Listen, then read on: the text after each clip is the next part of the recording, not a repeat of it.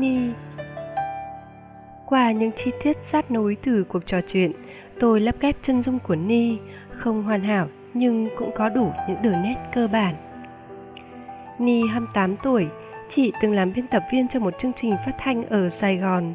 Rồi một sáng thức dậy, Ni thu xếp bán lại căn hộ chung cư, Cổ phiếu, Những phần hùn làm ăn chị bỏ lên Đà Lạt mua một ngôi nhà nhỏ cách thành phố 3 cây số và thuê lại quán cà phê để sinh sống. Chỉ là vì tự nhiên tôi nghĩ mình không thể tiếp tục sống cái cuộc sống đó nữa. Ni nói, tôi nghĩ mình hiểu cảm giác ấy.